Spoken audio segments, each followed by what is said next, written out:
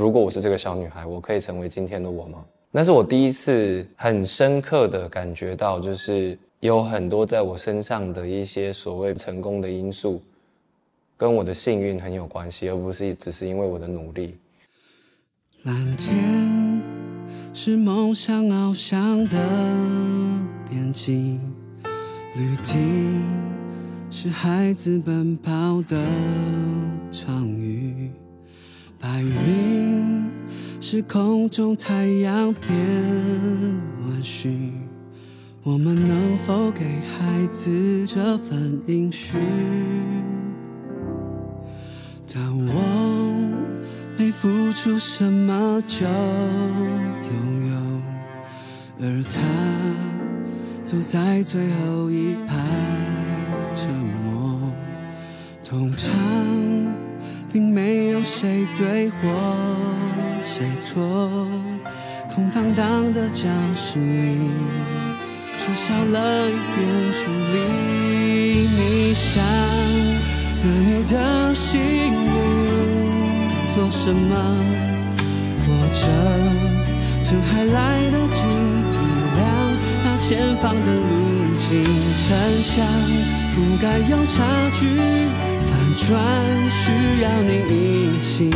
成全一颗只想好好学习的心。很多孩子得不到的幸运叫做选择权。我会想要问自己：我想要拿这一份幸运做什么事情？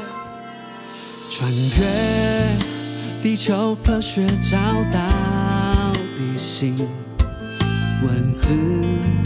从作文里散发光明，计算爱与梦的最短距离。或许某一天换我给出最好的自己。你想拿你的幸运做什么？或者给出一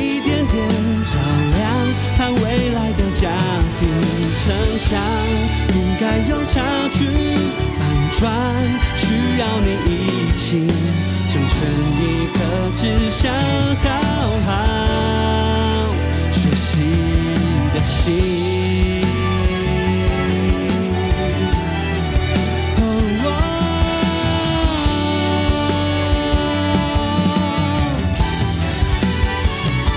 让世界更开阔，每个人的心里的山都夷为平地。能做的事，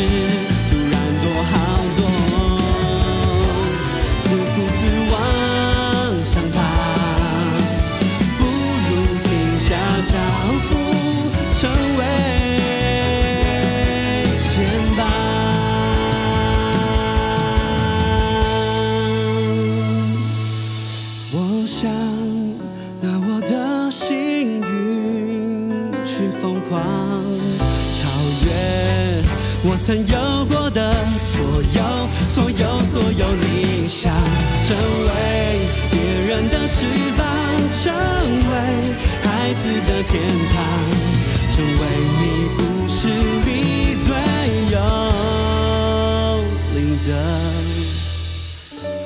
地方。